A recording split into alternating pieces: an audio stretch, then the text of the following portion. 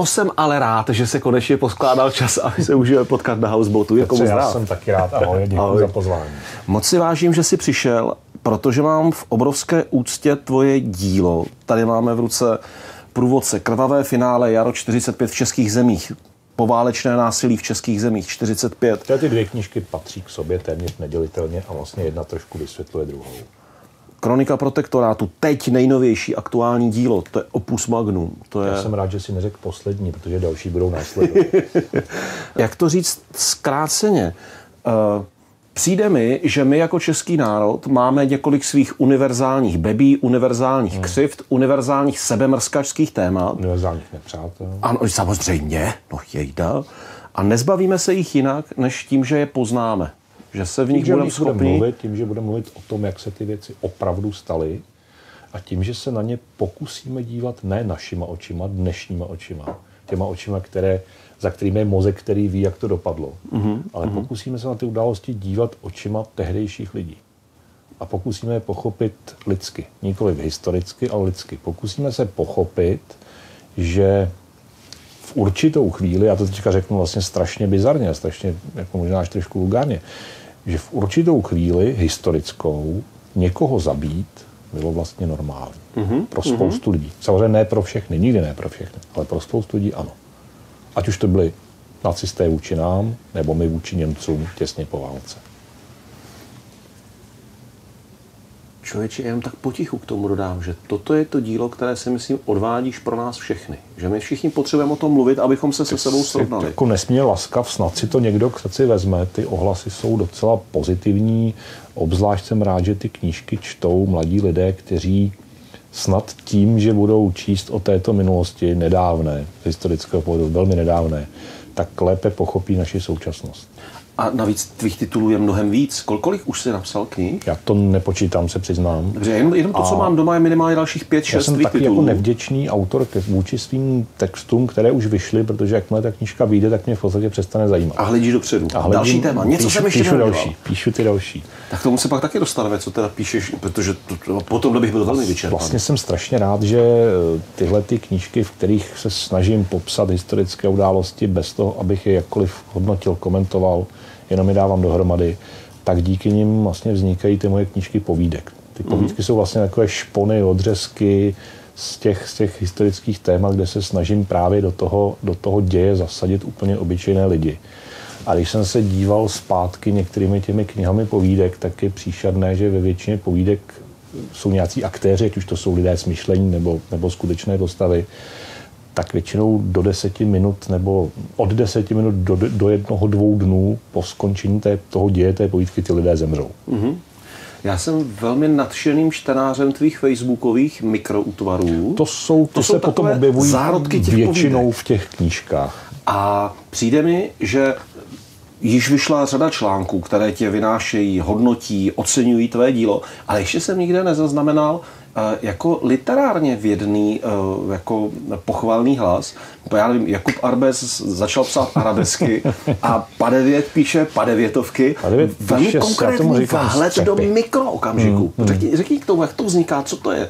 E, jak to vzniká, nevím. To, to, to je tady Fakt, někde. Není někde, to cíleně. Není to, to cíleně. Já se prostě ráno probudím nebo odpoledne se zamyslím a najednou je z toho povídka. Já tu povídku napíšu opravdu pár minut po té, co se v té hlavě vylíhla, urodila, jak, to, jak tomu říkat. A většinou už na ní potom není co měnit. Mm-hmm. Většinou to je rovnou hotový útvar. Kromě samozřejmě pravopisných chyb a interfunkce. V tu chvíli Přesně jede. tak. A vidíš to jako obraz? Vidím to jako obraz. Vidím to jako, možná to je z toho psaní trochu vidět. To je filmová věc. Vidím to jako obraz. Cigareta a ně, spadla, něco. A přiznám se, že pokud, pokud se jako rozmýšlím o té povídce, tak někdy samozřejmě ověřuju si historická fakta, abych tam jako neudělal nějaký vložený kopanec. Ale velmi často taky dívám na mapu, protože nebo na mhm. starou fotku, tak chci mhm. vidět, jak to místo v tu chvíli vypadalo. Opravdu. Takže to možná tomu dodává ten, ten pocit toho obrazu živého. Eh, protože, jak jsi zmínil, že je potřeba podívat se na ty situace pokud možno tehdejšíma očima hmm. a tehdejší hlavou. Tak a právě... ideál, ideálně pohledem nějakého prostého člověka a to prostě jsem si objevil v svých povídkách, že já najednou jsem si uvědomil, že hromadu velkých historických okamžiků naší země začínám nahlížet trošku jinak, protože najednou zacítím úzkost, hlad, chuť, uh, hrdost, ty pocity, které se ti daří krásně trefit hmm. do toho a pak si řeknu, no jo, a tak to já bytostně s tím nesouhlasím, ale tomu člověku v té povídce rozumím, že teď šel zúčtovat s lidmi no, ve své vesnici. No, tak to, je to šílený to a teď prožívám no, v sobě no. tu, že jsem hnusný, když, jsem, když tomu rozumím, no. ale ono se to pak ve skutečnosti taky stalo. A uvědomíš si, že, že různí vrazy, různí zločinci třeba předtím vykonali něco dobrého, nebo potom vykonali něco mm-hmm. dobrého. Ty jsi mluvil o naší historii, o těch našich traumatech, která si samozřejmě jako velmi, velmi srdnatě hýčkáme a pořád se v nich jako ňamráme. Ale ono je taky důležité si uvědomit, že v naší historii je vlastně velmi málo vyloženě kladných bytostí mm-hmm. a velmi málo vyloženě záporných bytostí. Že ty role se v tom, v tom šíleném 20. století, které si převálcovalo kde koho a kde komu zlomilo nebo aspoň naštíplo páteř, tak ty role se velmi často střídají.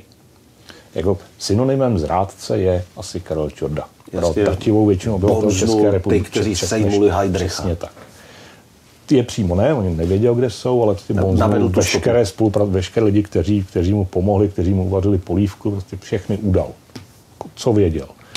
Ale ten samý Karel Čurda v roce 1938 během druhé republiky jako příslušník finanční stráže převáděl v pohraničí Židy do Polska. Mm-hmm. Čili pár lidských životů taky zachránil. Jo, takže ono někoho prostě odsoudit za jednu věc, byť ten čudé je samozřejmě extrémní případ, tak se nám může stát, že pak zjistíme, no ale ten člověk jako taky vykonal něco dobrého. Nebo naopak někoho vynášíme do nebes a pak zjistíme, no ale on taky třeba jako udělal nějakou sviňárnu. Jo, jo. Pojďme první vymezit. Období, které tě zajímá, kterému se věnuješ. Eh, věnuju se mu ve volném čase. Důležité, nejsem historik, že jsem nadšený, nadšený, akademia. nadšený badatel, nikoli profesionální historik. Tohle je všechno můj koníček. A nejvíce se věnuju asi období protektorátu a období těsně poválečnému, to znamená mm. tomu, čemu říkáme divoký odsun Němců, ale chci to chápat v širších souvislostech, takže jako hodně se věnuju období od roku 1938, kdy ty nacionální vášně česko-německé vyvrcholily, ale kdy se proti tehdejšímu Československu postavilo samozřejmě i Polsko a Maďarsko, to je taky důležité vždycky vědět, že jsme v tom opravdu zůstali prakticky úplně sami, v tom našem malém prostoru až do roku 1953, kdy ne, že by končil, ale pomalu slábne ten příšerný komunistický teror konce mm-hmm. 40. a začátku 50. let.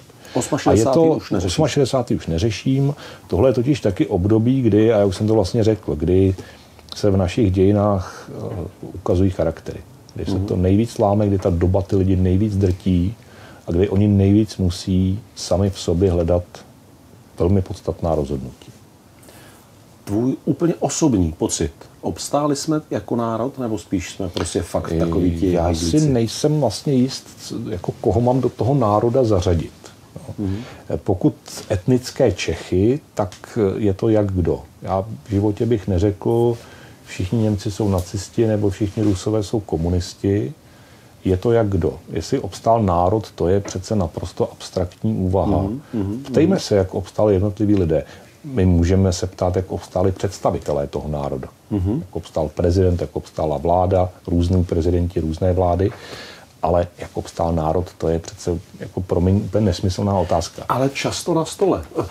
Ti Britové, ti zakladatelé, no, ale... Magna Charta, začátek, zárodek celé evropské demokracie. To je národ. Já vím, já vím. Jak se s tímhle jako uchopit? Jak to vzít? No ne, tak uchopit to tak, že je potřeba si říct, byl tady nějaký nacismus, který vyprodukovalo, vyprodukovalo Německo, tehdejší, to je naprosto jako bez zesporu, ale v tom samém národě byl Goethe, Schiller, mm-hmm, Beethoven a další si věhlasní duchové. A pak tady máme Čechy nebo tehdejší Československo a v tom národě byl Karel Čapek, Vladislav Vančura, ale pak taky třeba Karol Pazur, vrah ze švédských šancí, již zmíněný Čurda, Emanuel Moravec a mhm. další. Mm-hmm. A zase ti, které se jmenoval, snad kromě toho Karla Pazura, ani ten Moravec není černobílý. Já strašně rád používám Jedna z těch eh, národních bolístek je samozřejmě rok 1938, uh-huh. tržení pohraničí nacistickým Německem, měli Polskem a Maďarskem. Jestli jsme si měli bránit nebo neměli, je diskuze do každé hospody, z těch, která vydrží celý večer až do rána. Profesionální historik na to asi řekne, že to vůbec není na, taková otázka ani na pořadu dne, protože prostě jsme se nebránili, tečka, je to, je to uzavřeno, mm. můžeme, můžeme zkoumat proč. No, ale jestli ano nebo ne, o tom si můžeme mluvit my jako nehistorici. A je to debata opravdu na strašně dlouho. A teď nevím, co jsem chtěl vlastně říct. Uh, bavili jsme se o tom, jak člověk obstál nebo neobstál jo, a o tom, Moravec, že nikdo děkuju, není černobílý. Děkuju. Tak já si, když si představím, že jsme se bránili, nějak to vojensky dopadlo, samozřejmě jsme byli poraženi, protože to, že bychom jak si zvítězili proti Německu osamoceni. Ani počtem, ani technologicky. E, asi bychom se nějakou dobu bránili a pak bychom zřejmě kapitulovali třeba podobně jako Poláci. Uh-huh. Ale teď si představ, že by několik velmi vysokých důstojníků tehdejší armády republiky Československé v tom boji padlo a ta válka by dopadla nakonec tak, jak dopadla, Československo by se obnovilo a my bychom měli v každém větším městě náměstí generála Josefa Mašína uh-huh. a z ní by vedla jedna ulice, ta by se jmenovala ulice generála Emanuela Moravce uh-huh. a druhá ta by se jmenovala ulice generála Radoli Gajdy. No paneš. A tihle ti tři chlapy, díky těm, díky zase tomu, těm presům historickým, těm režimům, prostě každý šli svojí úplně jinou cestou. Nikdo z nich to nepřežil, každý z různého důvodu. Ale pokud bychom se, a to je, jako samozřejmě to naprostá spekulace, ale pokud bychom se bránili, tak tohle, tahle ta konfigurace by po té válce mohla prostě nastat. Jo, a úplně se mi krásně líbí, jak tam zvoní ta obojakost Radola Gajda. Vždyť to byl ten fašista, ale vždyť to byl ten chlapík z těch legí, který v tom Rusku No, jednak práce. to byl chlapík z legí, samozřejmě byl, byl obojí. Byl to chlapík z legí, byl to fašista, byl to člověk velmi jako zvláštním způsobem vlastně vyhozený z armády, zbavený mm. hodnosti během první republiky. Zvláštní spoluúčastí a vlivu pana prezidenta Přesně Masaryka. tak. A byl to člověk, který v roce 38 se bránit chtěl. Mm-hmm. No, stejně tak, jako se chtěli bránit komunisté. Ta, jako ta celonárodní fronta byla opravdu velmi, velmi jako silná. Nechtěli se bránit samozřejmě akorát čeští Němci a, a slovenští Maďaři v podstatě. Kteří to vítali vlastně. Kteří to samozřejmě vítali. Kteří chtěli... A zase z pochopitelných důvodů. Ano, zase z velmi pochopitelných důvodů. E, na sociálních sítích se jako slyšíš velmi často výkřiky, e, volili sudeťáky, to měli za to, mm-hmm. tak my jsme snad měli po listopadu 89 všechny, kdo volili komunisty, odsunout někam do Sovětského svazu? Nebo to by tady jako, moc lidí nezůstalo. To by tady moc lidí nezůstalo. jo, to, že někoho volím, může, můžu s, jak, s nějakým odstupem potom sám v sobě si říct, asi jsem volil špatně, nebo určitě jsem volil špatně, co jsem to udělal. Uh-huh, Ale ta jedna volba přece země nedělá zločince. Uh-huh, uh-huh. Mně se to hrozně líbí, člověče, že právě to, že se tak hluboce noříš do těchto těch komplikovaných etap naší historie a i naší národní identity. A snažím se z nich vytáhnout ty obyčejné lidi, co si o tom asi oni v tu chvíli mysleli, jak reagovali. A to tě vede k tomu, že, se, že si obezřetný před tím soudit. Rozhodně, to rozhodně jsem. Byť samozřejmě najdeme, najdeme i v našich dějinách naprosto krystalické vyložené parchanty, jako není jich moc, ale jsou. je to nefér se... Ptát kdo? No, že bys nějakýho jednoho parchanta tak poslal. Dobře, tak řekneme řeknem to, kdo já si myslím. Ano, no, tak ano. já si třeba myslím, že jako naprosto jedinečným parchantem byl Klement Gottwald. Mm-hmm. Navíc velice schopný politik, minimálně v první části se kariéry. Politik, teda. který vyhrožoval ostatním politikům, že se jezdí do Moskvy naučit, jak jim zakroutit krkem, což, což, potom, pravda? což potom udělal. A pak mám takového svého velmi oblíbeného parchanta a to je muž, který se jmenoval Jaroslav Nachtman, uh-huh. a který byl eh, za druhé republiky dopravním strážníkem, ale protože toužil se stát kriminalistou, tak se velmi rychle po okupaci dal služeb nacistů. A nestal se z něj konfident, ale vyloženě úředník pražského gestapa. Uh-huh. Tuším, že někdy v roce 1941 přijal německé občanství, možná dokonce dřív, možná už v roce 1939 a byl velmi výkonným úředníkem pražského gestapa. Sám si budoval takzvané volavčí sítě, to znamená fiktivní odbojové organizace, mm-hmm. do mhm. kterých lákal samozřejmě vlastence a ti potom vlastně dodávali informace gestapu, aniž by o tom věděli, že spolupracují s gestapem. A tenhle ten člověk eh, si na konci války založil poslední fiktivní organizaci, aby to jako vypadlo, že byl odbojář.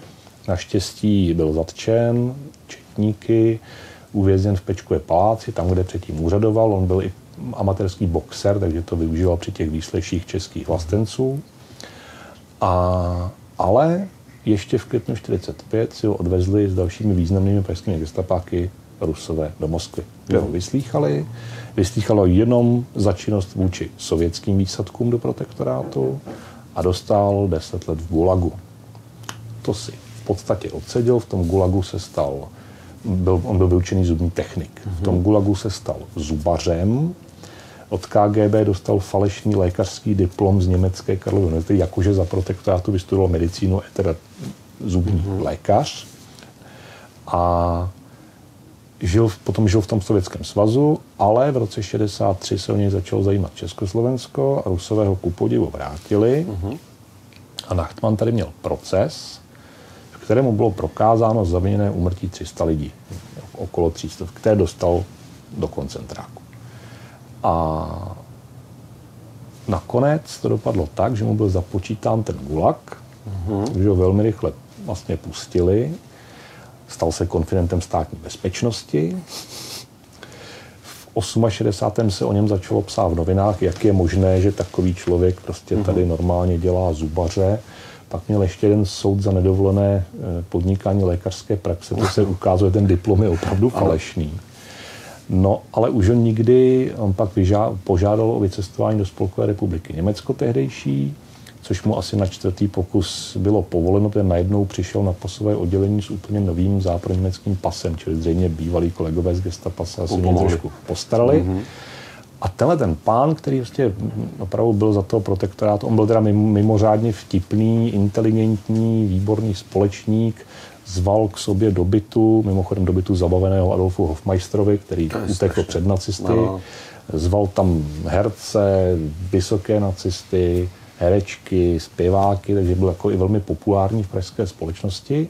No, tak zemřel v roce 1995 v Německu jako spokojený důchodce.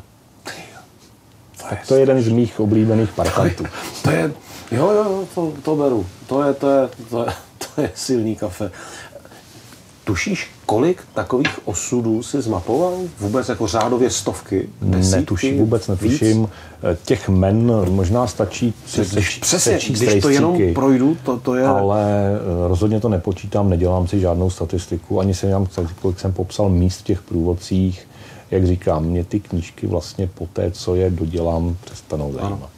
Získal jsi nějaký pocit, po studiu všech těch možných osudů, že je nějaká spravedlnost, že to někoho stejně doběhne, většinou třeba doběhne, nebo si naopak říkáš, ne, ne, spravedlnost je lidský konstrukt, zapomeňte na to. Jaká spravedlnost určitě bude, jak koho asi. Určitě to nedoběhne všechny, protože třeba když se bavíme o krvavém finále, tak ty nacistické velitele těch protipartizánských komand, která byla spíš proticivilistická, protože spíš vyvraždili, vypalovali vesnice, než aby honili partizány po lesích. Mm-hmm tak se v podstatě nikdo nedostal přes Československý soud.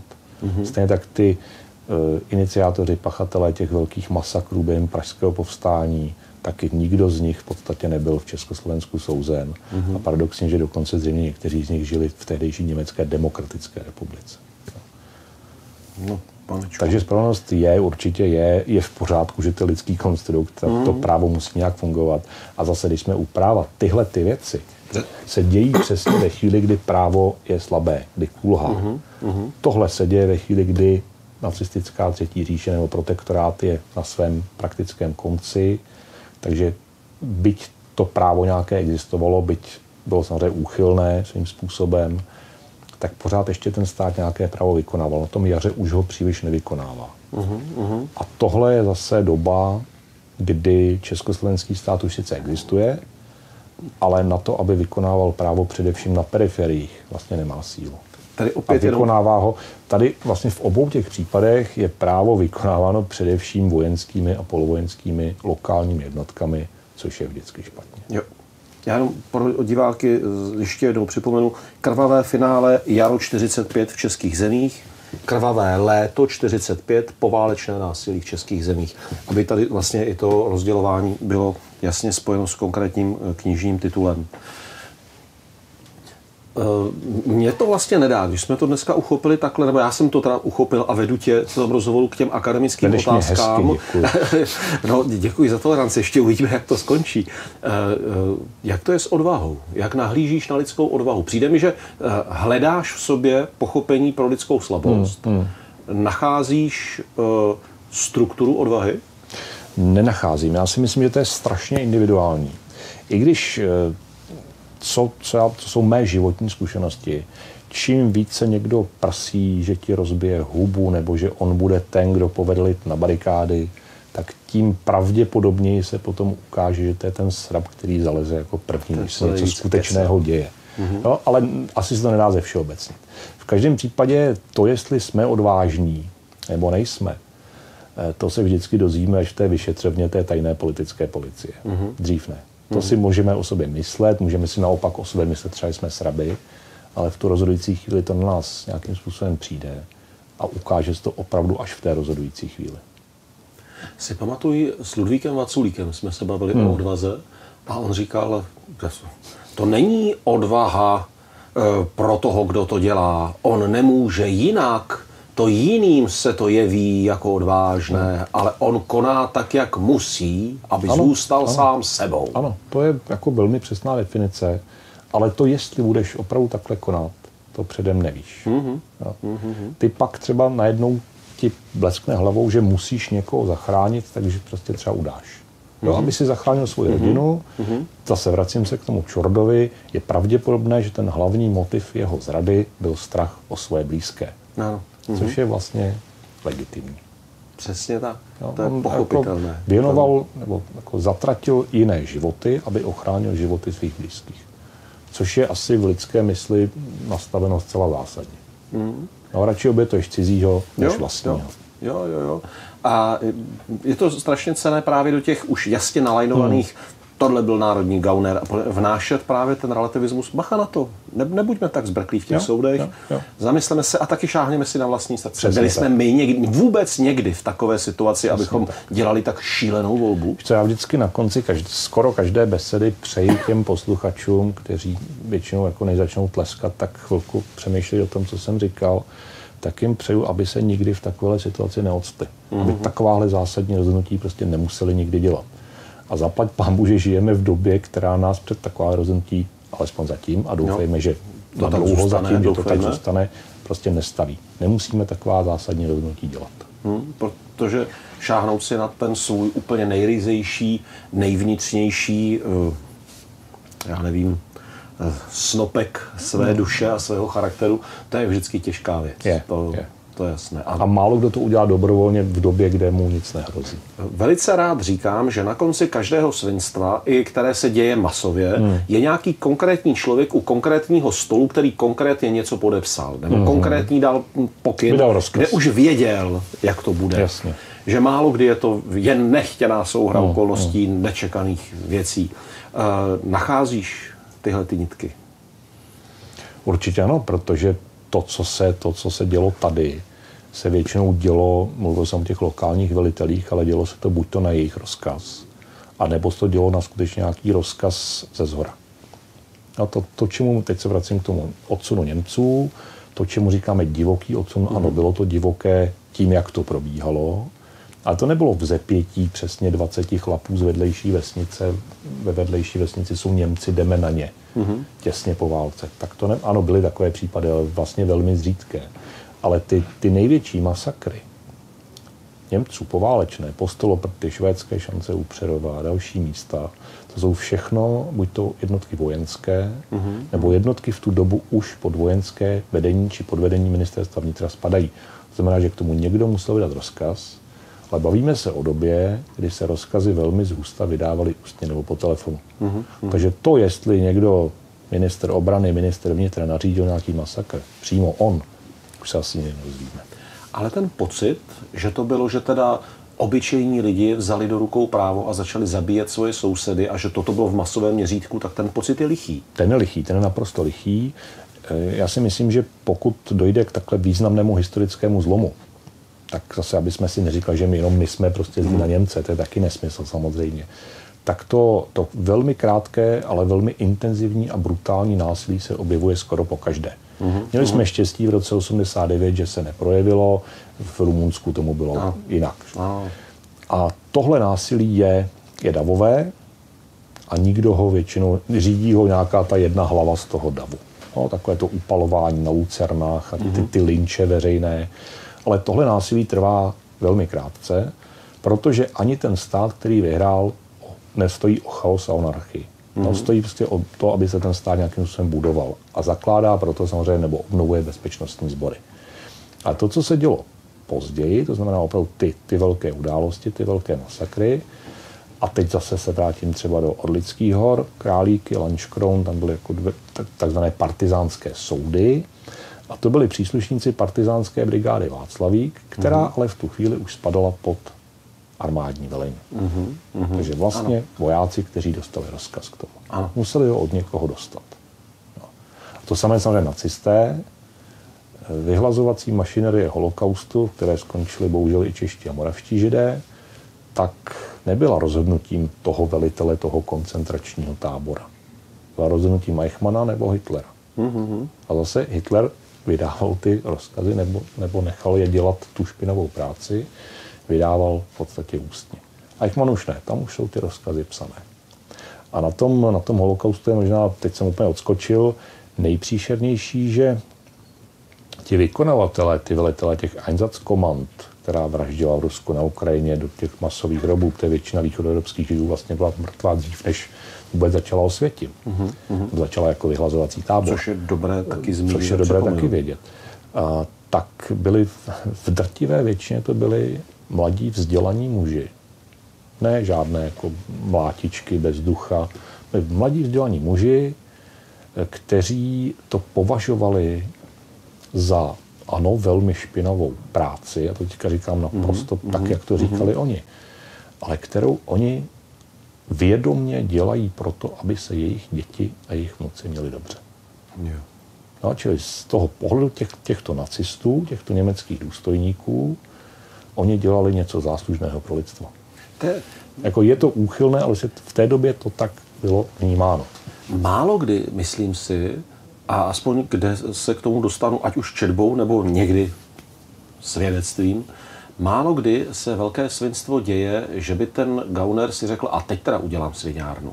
Většinou je v pozadí mentální model, který mu říká, ale vždyť já to dělám dobře. Hmm. Hmm. Co, byste, co byste po mně ještě chtěli? A dokonce já to dělám dobře, ale pro blaho celku. No, to Nikoliv pro sebe, ještě mi pro vás všechny ostatní. Ještě, ano, ještě dostanou vyznamenání. Další téma. Určitě se k tomu dostáváš. Často se říkalo, No jo, počkejte, když byl protektorát. Co Čech, to udavač. To je velmi častá otázka na besedách. Eh, vzhledem k tomu, že většina, no, část archivu, hlavně pražského gestapa na konci války Němci sami zapálili a, a schořela, mm, tak eh, statistiku nemáme. Ale já jsem pevně přesvědčen o tom, že v protektorátu se udávalo úplně stejně jako v okupované Francii, v okupovaném Holandsku, v okupované Belgii, čili nejsme ani horší, ani lepší než jiné národy. A ty si narazil na naši typickou vlastnost. Mm-hmm. My jsme buď to nejlepší, nikdy jsme nikomu nic neudělali, jsme holubičí povahy, a kde si co si, a lidumilové a srdce Evropy, anebo jsme zase nejhorší. Všichni jsme ty Němce mlátili, všichni jsme dělali tyhle ty sviňárny, ale ani jedno není samozřejmě pravda. Mm-hmm. Asi by se mně líbilo víc, kdyby se řekl, oni nám všichni křividí, to bylo pár jedinců, ne, ale to je právě ono. Ale samozřejmě, obce... ale Petře, máš pravdu, ono to vlastně pár jedinců bylo. Mm-hmm. Ale bohužel mezi těch pár jedinců aspoň verbálně patřili politici, vrcholní politici. Mm-hmm. Včetně bytostních demokratů, jako byl třeba Prokop Drtina, mm-hmm. který na jakési schůzi v Úcerně na jaře 45 na začátku léta prostě prohlásil, že není možné žít s Němci v jednom státě, že to v podstatě nejsou lidi. Mm-hmm. No, ta protiněmecká hysterie po válce a vlastně zase lidsky pochopitelná. docela pochopitelná, zahrnovala velmi široké vrstvy obyvatel. A chci se dostat k něčemu jinému. Ano, ty konkrétní vraždy samozřejmě dělalo ne pár lidí, ale dejme tomu stovky lidí, možná nižší tisíce. Ale všichni ostatní, jako drtivá většina zbytku, tomu přihlížela. Mm. Někteří i zatleskali. Mm. Já si myslím, že samozřejmě to přihlížení historickým událostem je nejlepší model, jak je přežít. Mm-hmm. No, držím hubu a krok, nic neříkám, ono to nějak dopadne. Aby se to neoprádělo ještě k tomu proti mě. Ale paradoxně, že třeba za toho protektorátu, samozřejmě pokud si nebyl žid nebo rom, mm-hmm. a pokud si nebyl v odboji, tak si měl velmi vysokou šanci to přežít. Ano. Ale na konci 40. let a na konci, na začátku 50. let, za, za té první brutální fáze komunistického režimu, mm-hmm. si nemohl být jistý nikdo, jestli to přežije. Ani komunista. Mm-hmm. Jo, to, je, to, to je ten, ano, ty procesy to, je, to je ten markantní rozdíl. Protože před komunismem tě neochránila ani lojalita. Před nacismem nebo před ano. protektorátem jako vlastně ano. Mm-hmm. Nebo aspoň předstíraná lojalita. Před tím brutálním komunismem, před tím, co sem přišlo ze Sovětského svazu, před tím jako kombinací Marxova učení a byzantských vládců tě neuchránilo vůbec nic. Mm.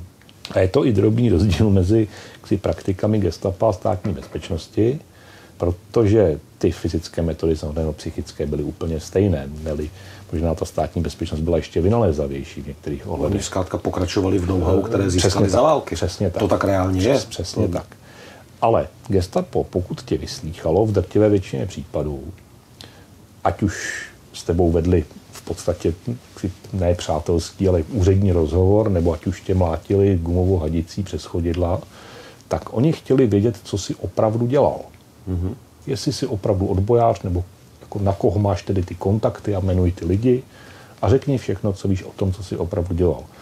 Ale pokud se člověk dostal do soukolí státní bezpečnosti, tak ta po něm chtěla, aby se přiznal k něčemu, co vůbec neudělal. Mm-hmm. A my vlastně do dneška nevíme, jestli některé ty plánované převraty nebo protikomunistická povstání, která byla skutečně plánována, jestli to ti lidé skutečně chystali, nebo jestli to byl od začátku konstrukt státní bezpečnosti, jestli to byly ty Nachtmanovy volavčí sítě, no. které samozřejmě STB taky používala. A asi se to už nikdy nedozvíme. To je většina těch aktérů je samozřejmě mrtvá, nebo byla mrtvá už během toho vyšetřování. Člověče, tohle srovnání, takhle hmm. jako... Explicitně. Děkuji. Prosím, rád to je, stalo. To je výborná věc. To je výborné. Jo, čili já vlastně tím chci říct, že to budování komunismu u nás, jakkoliv zase chápu touhu lidí po nějaké sociální spravedlnosti a rovnosti, mm-hmm. tak to, co tady bylo po únoru 48, nebyl žádný komunismus. A dokonce to ani neodpovídalo tomu, co měl Gottwald v budovatelském programu svojí vlády a co mm-hmm. slibovali komunisté ve volbách v roce 46. Mm-hmm. Vůbec ne. Gottwald se zaklínal tím, že tady nebude žádná kolektivizace sovětského typu. A jak to dopadlo? No. Smrtí, vyháněním sedláků z jejich statů, kde prostě žili jejich rodiny 6-7 generací naspát. No, a sami se pak nechávali no. najímat jako děvečky a národníci, aby aspoň ten dobytek... No nebo dělali jako dělníci na stavbách nebo stavili přehrady. No, no. To je úžasné, jak ty, to časové, ta časová oblast, které se věnuješ, tohleto srovnání explicitně hmm. nabízí a to je nesmírně cené, teda, takhle to jako vidět. Já tím neříkám, že gestapo je lepší státní bezpečnost, samozřejmě to v žádném případě. Poměr, a vůbec jako poměřovat, kdo byl větší gauner a no, horší zabiják, když to byli gauneři, a zabijáci, samozřejmě. tak eh, je, je špatné. Ale je docela dobré si toto uchovat pro takovou tu dobu, kdy se říká, ne, ne, ne, těm komunistům se křivdí, to v těch 50. letech jsme tady taky budovali a rostla nám životní úroveň, fajn, jasně, no, po válce. Nerostla, ale... Eh, ale ty ukazatele po válce jako no. měli stoupající tendenci, ale je dobré tohleto srovnání v té hlavě mít. To si pamatuju. Je dobré vidět, že to byl prostě režim, který vyhlásil válku všem svým občanům. A byla to zrada vlastního národa Přesně na vlastních tak. lidech. To Přesně bolí. Tak. To je bebí, který bychom no, si měli tam ještě, ještě tam bolí jedna věc. Bavíme se o druhém, třetím odboji, že jo, někdo si dokonce myslí, že třetí odboj vůbec žádný vlastně neexistoval, že to je celý hmm. jakýsi konstrukt. Já si myslím, že existoval, ale samozřejmě ty odbojáři třetího odboje to měli výrazně těžší než ti odbojáři toho druhého odboje. Že ti ti za války, ti za protektorátu, bojovali proti cizímu. No, proti no, nepříteli, nepřítel byl jasný. Nepřítel byl Němec, mluvil jiným jazykem, ta ideologie byla importovaná a teď najednou po válce nebo po roce 48 často i ti samí lidé, co bojovali uh-huh. proti mhm. nacistům, začali bojovat proti komunistům. No jo, jenže to byli lidi mluvící stejným jazykem, to byli lidi, kterým asi chodil na základní školu, nebo s kterým asi třeba před půl rokem ještě seděl v hospodě. A mhm. najednou to byl nepřítel na života na. Uh-huh. A to je samozřejmě daleko těžší boj, než proti někomu, ke kterému tě vůbec nic nepoutá. A je to oblečené do uh, politické rétoriky a propagandistické rétoriky těch vládců, kteří tomu říkají, bojuješ proti své zemi, Přesně proti tak. svým lidem. Přesně tak. Ty jsi zrádce. To je, to je Přesně tak. mám v ruce kroniku protektorátu. Jak jsem říkal, opus magnum, veliké dílo. Eh, říkám si, začíná vyhlášení protektorátu, končí zrušením protektorátu. Kolik let se takovýto materiál dává dohromady? Já jsem naštěstí díky těm předchozím knížkám měl řadu materiálu nazbíráno. Naštěstí čím dál tím víc archivních fondů je online, takže tam nemusíš v archivu vysedávat dlouhé hodiny, ale psal jsem ji eh, určitě přes dva roky. Mm-hmm. Ale samozřejmě za, zároveň zapsaní dalších knížek a krátkých povídek. A, a při tom řízení a při tom, při tom běžné ano. práce. Ano, ano, ano. Když se dívám na archivní materiály, které tady jsou, jako fotografie, dopisy, noviny, uh, jen toto dohledat všechno. Třeba ty noviny, věc. já se přiznám, to je další z mých úchylek, ty noviny já sbírám. Ty, ty protektorátní a ty raně komunistické a ty ze třetí republiky. To, jsou a tvoje to jsou, kusy to jsou, ano, to jsou skeny mých, mých osobních uh, sběratelských předmětů, jak by řekli pojišťováci. Eh, já jsem teď spolkl to slovo. Eh, a místo toho řeknu, že jsi sympaticky posedlý. Chtěl jsem říct, že jsi magor, ale jako v dobrém slova ale smyslu. v zásadě máš. Je to úžasné. Je to úžasné. Díky moc za to téma, že jsme ho mohli otevřít. Rád jsme se ho mohli chytit. Já si moc vážím toho, když se mi daří uh, dohodnout se s některými mými respondenty a ono, když ty kamery běží, tak se to taky blbě odmítá, že, se, uh, že si někdy v budoucnu vybereme třeba právě jenom jednu kapitolu, hmm. jednu jakoby drobnější věc a budeme si bavit jenom o ní, protože teď jsme to fakt jenom tak jako otevřeli dveře. Jasně. Já jsem udělal takový jú a zase je zavírám. Ale těch kapitol je tam takových 300? Hmm. které by stály za řeč. Tak na několik životů. Ruku na to? No moc rád. Děkuju. Děkuju. Buď zdrav.